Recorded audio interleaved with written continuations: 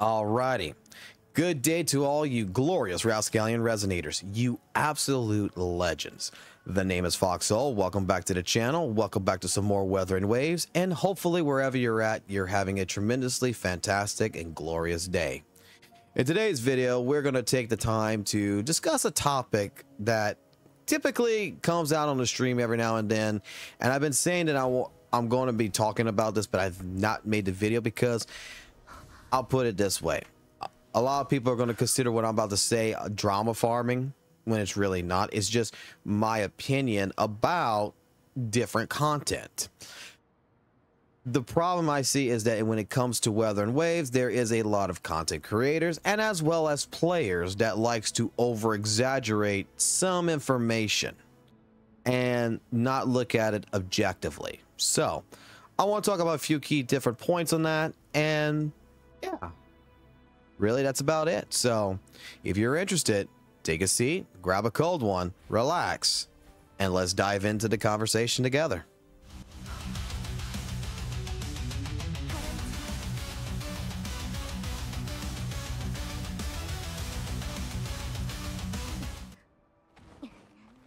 So, like I stated, there is from players, from content creators that like to go ahead and talk about Wuthering Waves. And the issue that I see with most of this content is the content that they're talking about is not exactly wrong.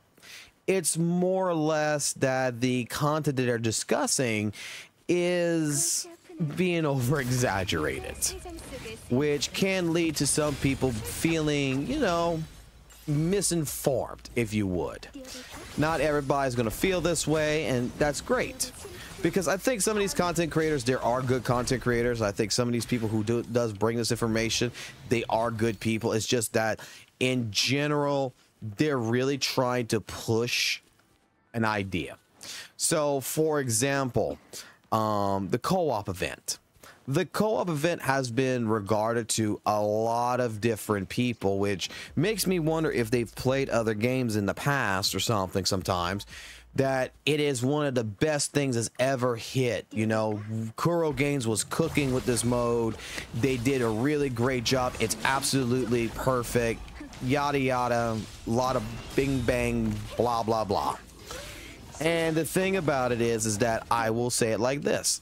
You know, it is a very good first step for Kuro Games. It actually gives me hope for the future, you know, in general it gives me the hope in the future that you know Wuthering Waves in game is going to have a solid co-op, you know, game mode that will you know entice low level players and high level players, whales, free to play players to basically work together and accomplish a common goal and have true incentives behind it that will make people want to continue playing it every other week or every other day, you know, in general. Now, fellow content creators and fellow people who say that I probably will take an L on this is that, you know, apparently I don't realize how great the co-op mode is and that I'm missing some information, but I'll say it like this. I've played other gacha games in my time. I've played other games in my times that were not gacha that has a better co-op mode than reusing same assets and just you know giving it a slightly different spin and that's basically what the co-op event is. Uh, like the co-op event is the same assets that we have which is the tactical hologram bosses allows you to fight it in a co-op arena basically that is time locked. And you know you use ecloids to give your characters a better edge or a better buff when fighting these together. And in general it's just basically taking what happened a little bit with tower defense uh, event that happened in 1.2 putting it with tactical hologram bosses and throwing the co-op in there and saying this is an event. And it's just basically mashing a lot of already used assets into one. And it's not bad. It's not horrible. Like uh, don't take like when I'm saying that like this is the worst thing. No, this is very, very decent for what Kuro Games did. It's just that there has been better systems that's been already in place well before this that I think Kuro Games could take a look at and incorporate those ideas into this system. That this right here is just something that it's fun, but its presentation wasn't actually good in my personal opinion. The way it works is not good in my personal opinion. And that a better mode idea would have been, you know, taking elusive death realms, shorten it down, and throw tactical hologram bosses, and make it to where it's like a boss raid, to where we got to run through this and fight bosses. And even then, I wouldn't have used the same bosses that we already have in the world. I would have done something completely brand new. That hey, this is just you know straight up the only. This is co-op bosses that's only for co-op mode. You're not going to face them in the real world, in the rest of the game world. This is just for the event and that's it. And make the event permanent. But I digress. I've already made a video about this and I might may make another one later on depending on what happens. But yeah, like that is like one scenario. A lot of people will regard to the co-op mode as being perfect and it's really not.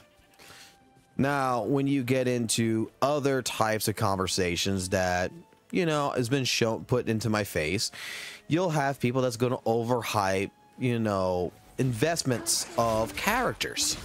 So, for example, a video that's been put on front of me, you know, I'll use it as the prime example, is stating that, you know, Shorekeeper itself, which I'll showcase, that Shorekeeper's, you know, summon zero is absolutely almost godlike in its own regards that it's not just a quality of life update that it has a heavy impact on sub dps's and so forth on that.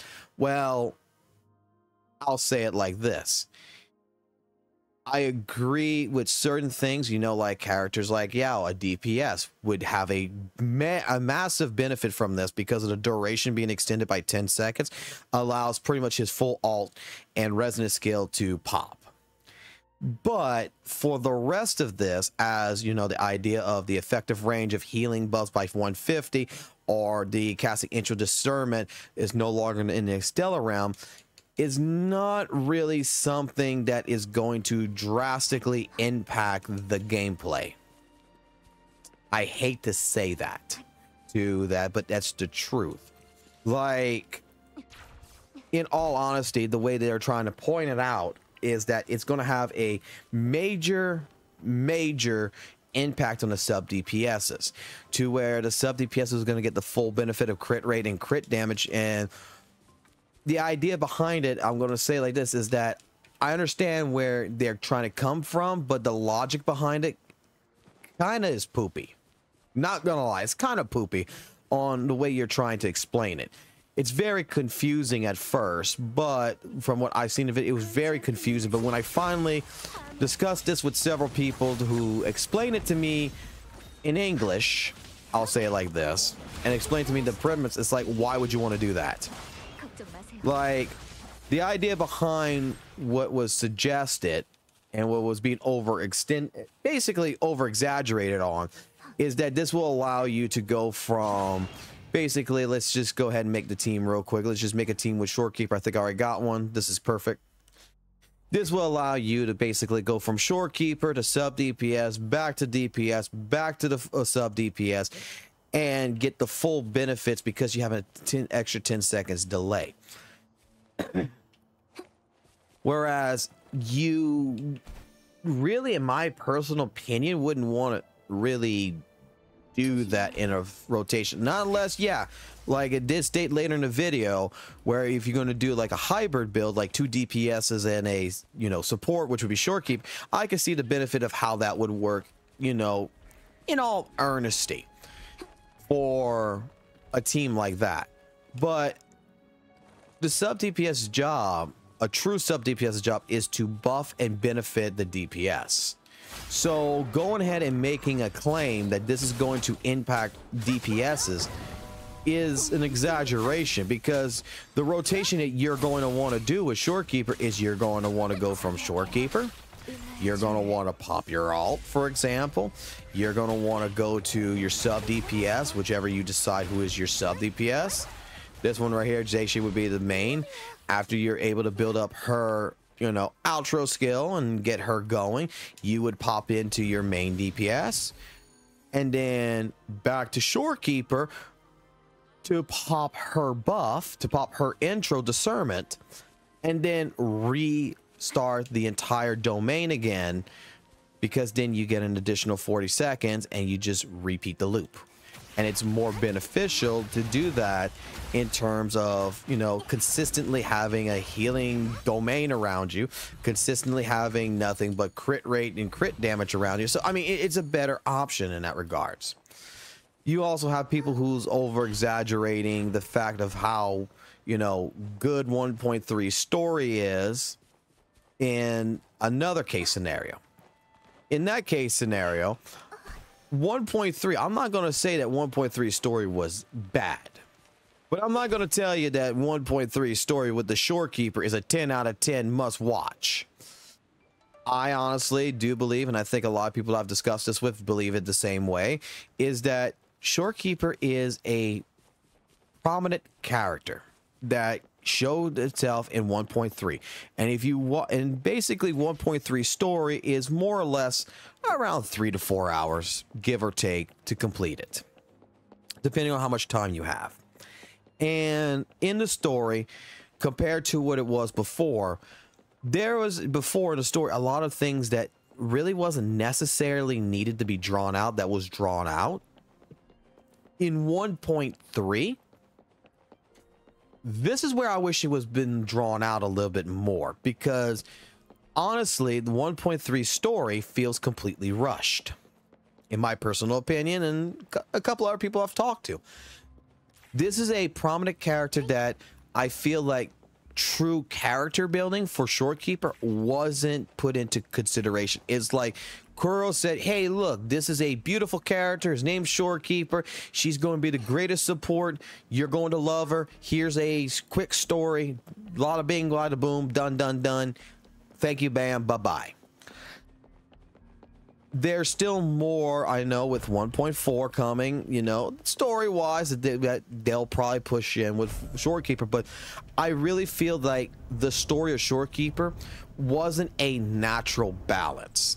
Like what was happening with 1.0 all the way to 1.2 is that you had characters like Jiyan, you had characters like Jinhsi, Chang Li, you know, that pretty much we built a relationship. We built our likes and our dislikes around these certain characters because of natural development. And when it, even with Zhezhi and with Yao, it's the same way. Their stories were, you know, built. The character story, it felt organic built. I didn't like Zhezhi because organically, the way she feels, she is not a character that quote unquote resonates with me because her personality is a doorknob. Now, granted, I will pull Zhezhi and I will pull Yao Yao because they're not really anything that's part of the main story. But Chang Li, Jin Shi, Jiyan, these are three characters that are part of the main story in a sense. And their character development was done really well. Jiyan with the story with Jin Lin and everything else, you know, how it came through. It's all the way down to his companion story. Jinhsi from the beginning of 1.0 all the way until 1.1 when you fight the, you know, the Divinity. You fight Jué. All of this made great exception. It was a lot of character building that was built up that showcased even Chang Li was built up all the way into her own companion story. And it was really good stories that got me interested in the characters.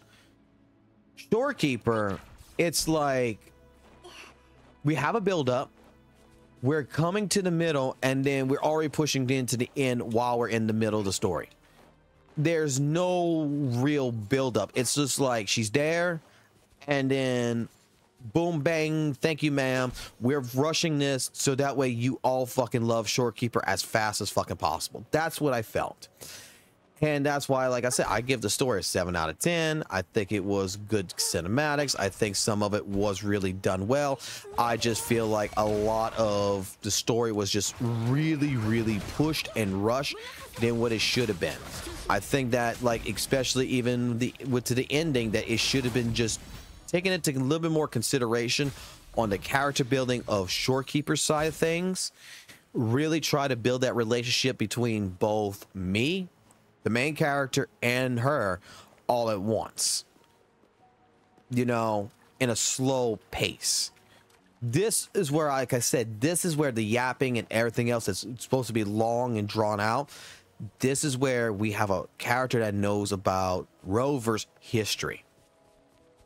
And I just felt that it was really the best way I could put it is that it was just really overlooked. It was like it's there, it's explained for like five seconds, and then oh crap, this is happening. Whereas with other characters, you know, you have Yang Yang and everyone that's fucking talking my fucking ear off. Why isn't hmm. this one another situation where I'm getting my ear talked off and have a long drawn out story to the, you know, to the love of Shorekeeper so that way it forces me and it makes me want to summon for the character. If anything, it just made me really not like the Shorekeeper as much because I just feel like I'm being pushed to like a character which, you know, I probably would like anyway if you just have a better developed story. But I digress. I mean, Wuthering Waves story has changed in multiple fashions from my understanding, so I mean, Kuro's still trying to get the hang of it. And I know a lot of you are probably gonna say, well, it's just a gacha game, you know, story doesn't matter. And I'm gonna say it like this: story still matters whether it's a gacha game or whether it's a fucking video game or whether it is. It does not matter. It still matters at the end of the day of good, proper storytelling. I, I still expect, you know, if I'm going to watch a story, that something's going to still keep my interest, not make me go, what the fuck? What, why is this so fast? Like you had it built up. Like 1.3 had it really built up in my personal opinion to where I was so interested. And then it's just like all of a sudden it's over. It's like really straight to fucking action. And this is again another part where I just think it should have been long and drawn out. But these are a couple of different examples of where, like I said, I believe that a lot of people over exaggerate. I think that some people are over exaggerating how amazing the story is. I think some people are over exaggerating just how good you know, Shorekeeper is at a summon zero, or whether or not, you know, co-op events are perfectly done. Heck, there is even, I'll even say it like this before in the video, there's people out there who is claiming that the balance in Wuthering Waves is absolutely the most perfect balance in this game compared to others. And I disagree because I think that's also an over exaggeration that power creeping and everything else is going to happen in the balance system we're going to see in a short time frame it be busted. So I'll leave it with that. Leave your thought. Uh, you know what? This is what I wanted y'all to do, if you don't mind. Leave your thoughts in the comments below. What is something you think is being over exaggerated in Wuthering Waves? That if you've played as long as I have, or you just started out, someone told you something completely amazing about Wuthering Waves, tell me what your thoughts is of something that you think is just, you know, a little overhyped. I like to hear that. And if you like this kind of content, everything else, make sure to give the video a like. Subscribe to the channel if you want more. We do do daily live streams right now on the channel, typically after 6 p.m. Central Time Zone, or right now currently is like 9 p.m. Central Time Zone. I've been doing them, but hey, we still try to do them after 6 p.m. Central Time Zone here on the channel. Otherwise than that, guys, you take it easy. You have a good one. And I tell you what, I'll catch you off in the next video. So keep it classic, keep it jazz, and keep it real. And I'll catch you on the flip side. Peace.